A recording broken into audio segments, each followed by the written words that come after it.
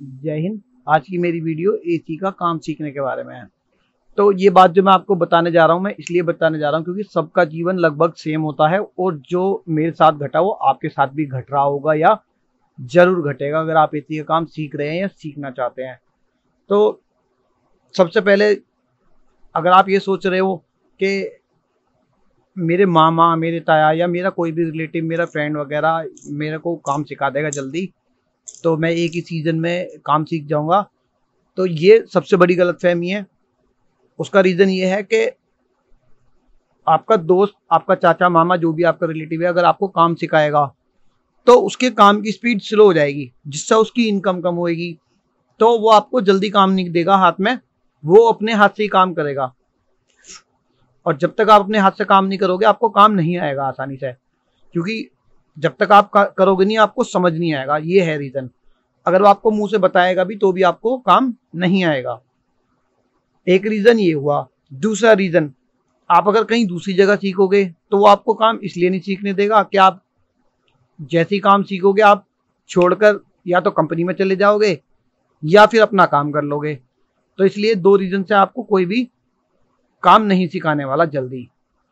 और तीसरा रीजन ये है कि जब आप कस्टमर के घर जाओगे तो कस्टमर आपको काम करने ही नहीं देगा।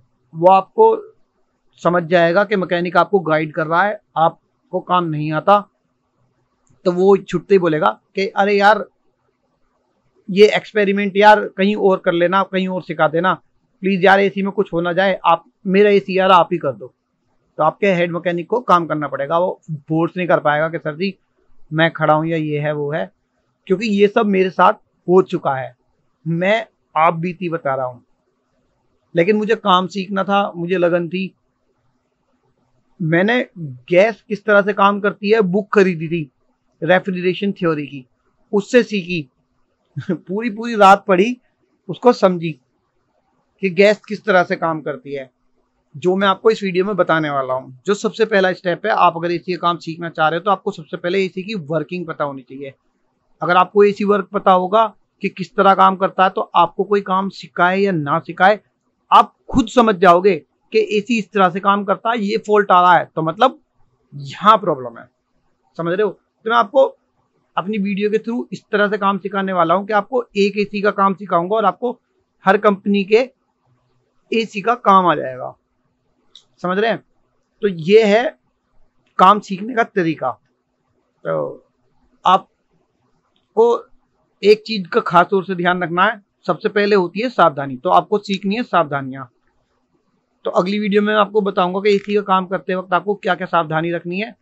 और सीज़न ऑफ़ आ चुका है, जैसे कि अब आपको एसी का काम कहीं सीखने के लिए नहीं मिलने वाला है। पर आप एक एसी खरीदना, मेरे कहने पर जब मैं अपनी अगली वीडियो में आपको बताऊँगा कि आप एसी खरीद लीजिए, उस एसी पर मैं आपको यहीं से सारा काम सिखाऊँगा। और आप बैठे बैठे अपने घर पर, अपने जहाँ भी आपका, आपको सीखना है, वहाँ पे आप उस एसी पे एक्सपेरिमेंट करके काम सीख सकते हैं। और एक गारंटी है कि एक ही एसी का सिखाऊँगा और सारे एसी रिपेयर कर पाओगे, क्योंकि मैंने भी एसी सीखा है। मुझे तो खासतौर से ऊपर से ऑर्डर थे कि उन्हें पता चल गया था ये लड़का काम सीखते ही अपनी दुकान खोलेगा।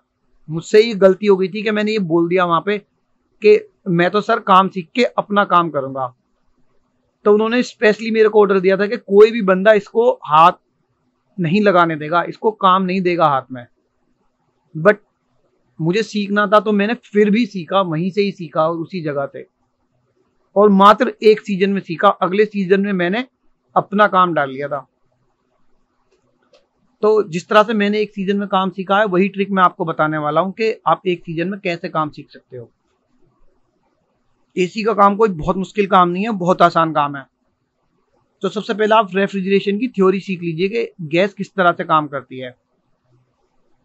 ये पैटर्न पूरा नहीं है, पर रेफ्रिजरेशन में जो गैस काम करती है वो यही है। इसके बाद में अगला डायग्राम बनाऊँगा, उसमें ए टू जेड चीज़ आपको बताऊँगा कि एसी में क्या क्या होता है और किस किस लिए होता है और किस किस चीज़ का क्या क्या काम है।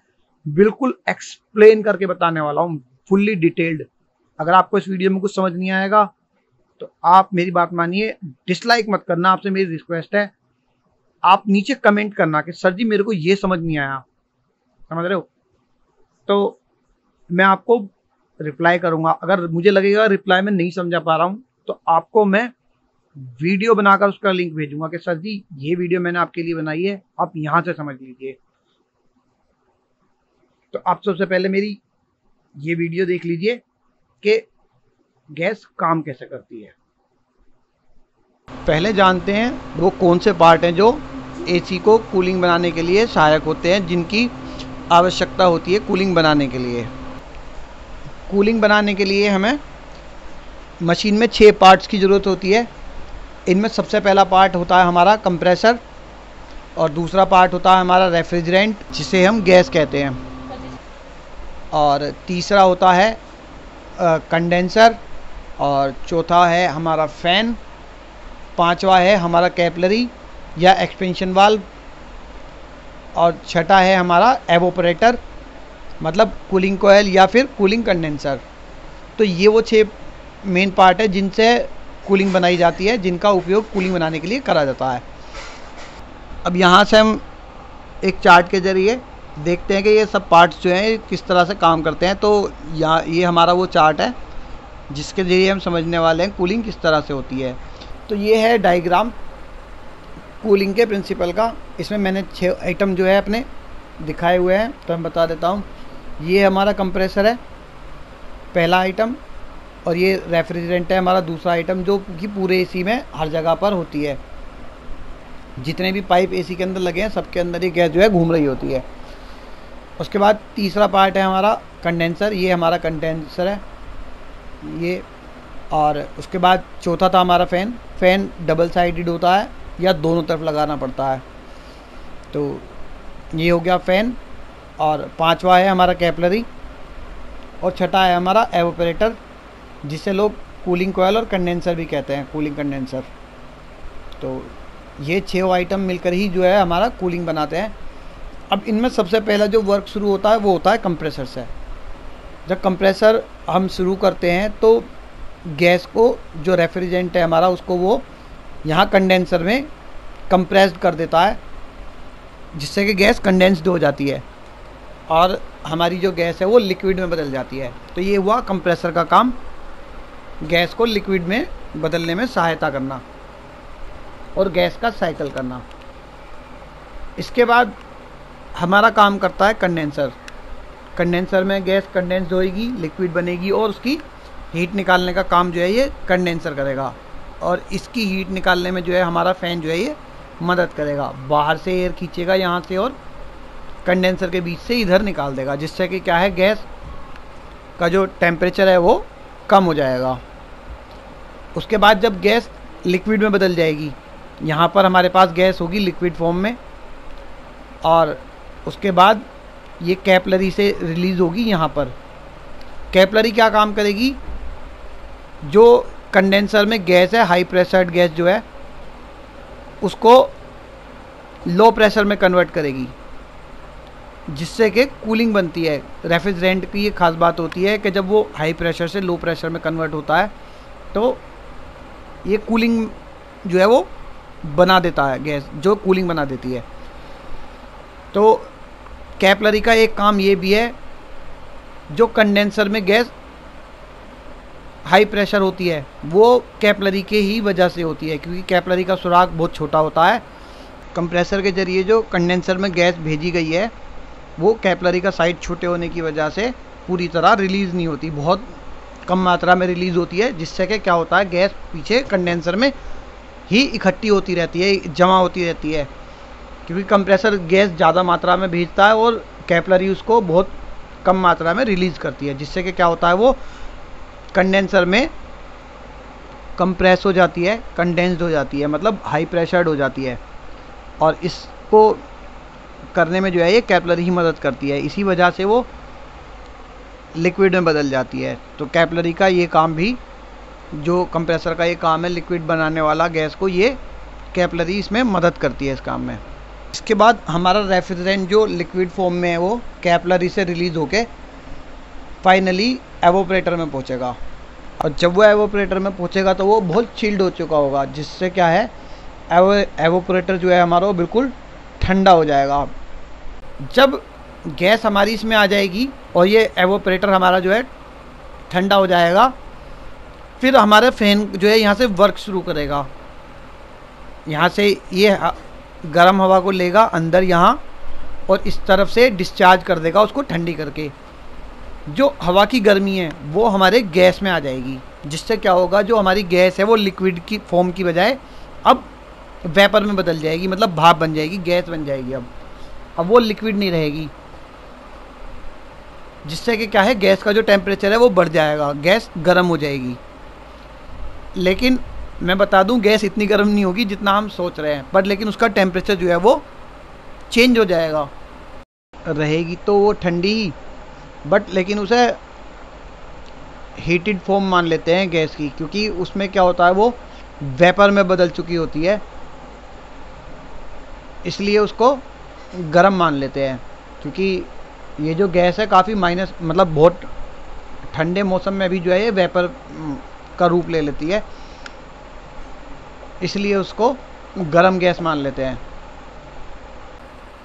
वही गैस जो वेपर फोम है, यहाँ से होते हुए हमारे वापस कंप्रेसर में आ जाएगी। कंप्रेसर उसको सक कर लेगा और वापस से डिस्चार्ज कर देगा कंडेंसर के लिए।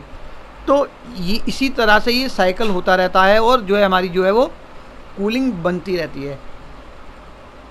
तो ये वो पार्ट हैं जो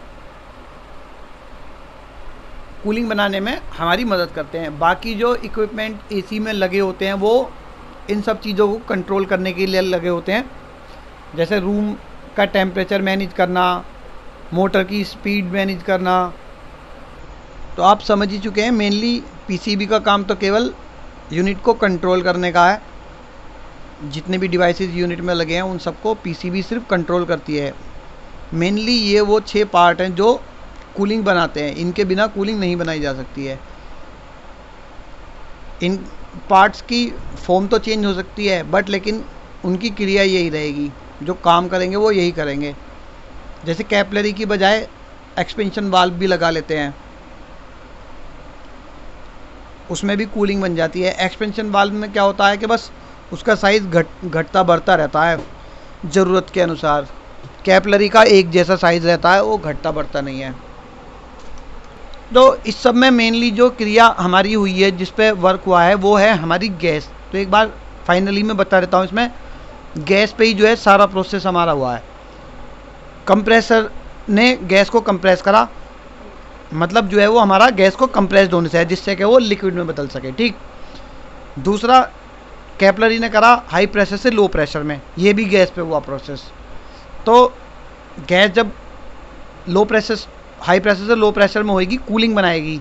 ये भी सारा प्रोसेस जो है वो गैस का है। इसके बाद जो गैस है हमारी, वो पूरे एवोपरेटर को ठंडा कर देगी और एवोपरेटर के अंदर से निकलने वाली एयर के थ्रू जो है वो गर्म होके वेपर बन जाएगी। और जो गैस फॉर्म में वो आने के बाद वेपर बनने के बाद तो इस वीडियो में शायद आप समझ गए होंगे कि और कंप्रेसर में जाने के बाद वो कूलिंग का जो इससे सिद्धांत है वो कंप्रेसर उसको कंडेंसर में भेज देगा गैस हमारी किस तरह से कूलिंग बनाती है कंप्रेस होगी तो इस सब में जो चल रहा है ना प्रोसेस वो सिर्फ़ गैस का हो? रहा है। गैस पीछे जा रही है कंप्रेस हो रही है लिक्विड बन रही है। तो आप फिर लो प्रेशर होके कि मेरी क्या बात है जो आपको कंडेंसर में जा रही है नहीं आई है। वहाँ पे वो वेपर बन रही है। दोबारा से उसको डिफाइन तो यही कोशिश क्रिया बार बार बार बार हो रही है जिससे कि कूलिंग बन रही है। आपको समझ में आ जाए। तो मेनली इसमें जो ये सब डिवाइसेज लगे हैं गैस को कंट्रोल वीडियो करने के लिए लगे हैं काफ़ी डिटेल से कूलिंग बना रहे हैं। आप लोग समझ जाए। अब मेरी बात समझ गए जैसे कि मैंने जो फंडा इतना सारा बारे में बता दिया कंप्रेसर का क्या रोल है तीन ये तरह सब काम गैस को प्रोसेस करने के लिए मतलब जो तीन चार तरह के काम कर रही है वो बता दिया कंडेंसर का भी बता दिया है तो कहीं गर्म से कूलिंग कोयल जिसको ऑपरेटर बोलते हैं उसका भी मैंने आपको अच्छे से बता दिया ये जो है का भी बता दिया है। इसी तरह से हमारा जो एसी तो है फ्रिज है गुजारिश है कि आप बड़े बड़े को लाइक चिलर प्लांट है सभी कुछ में देखने में यही फंडा चलता है इसको बनाने में। प्रिंसिपल जो है कई बार पूरे पूरे दिन निकल जाते हैं लागू होता है हमारा। तो इसी के थ्रू आपसे रिक्वेस्ट है। कि कम से कम डिसलाइक तो फॉर्म बदलती रहती हैं डिवाइसेस की। तो अगर आपको ये वीडियो अच्छी लगी हो और समझ में आई हो तो आप मुझे कमेंट करके थैंक्स कर सकते हैं लाइक भी कर सकते हैं। अगर कोई कमी रह गई है आपको समझने में कुछ दिक्कत हुई है तो आप दोबारा से नीचे कमेंट कर दीजिए, मैं इसको और अच्छे से बनाने की कोशिश करता हूँ। या आपका जो सवाल है, जो आपको समझ नहीं आया, वो आप नीचे ज़रूर मुझे कमेंट करके बताएँ कि क्या गलती हुई है, जिससे कि मैं अगली वीडियो में वो सुधार के आपको दोबारा बता सकूँ। तो ये कूलिंग का प्रिंसिपल है। अगर तो ये विंडो एसी का डायग्राम है। दोबारा update बताने वाला हूँ रूम की हीट किस तरह से कम हो जाती है और कैसे मतलब कमरे ठंडे हो जाते हैं रूम कूलिंग किस तरह से कमरे से बाहर और बाहर से अंदर तो मतलब जो ट्रांसफ़र होती है वो चैनल को तरह से होती like है, और मतलब क्यों कर ठंडे लीजिए। हो जाते हैं? जिससे आप वो वीडियो देख सकें अगर आप इच्छुक हैं देखने के। इसी का जो मतलब तो वीडियो का जो वीडियो देखने के लिए मतलब जो फुल डिटेल बहुत बहुत धन्यवाद। उसमें मैं बताने वाला हूँ। केवल ये तो मैंने करूँगा सिर्फ़ कि ये आप बताया कि कूलिंग दोबारा। मेरे चैनल से जुड़े और एसी से वीडियो रिलेटेड देखने के लिए सवाल पूछे और धन्यवाद। उनके जवाब पाएँ। सॉरी तो आपका एक बार फिर से बहुत वीडियो देखने के लिए बहुत बहुत धन्यवाद।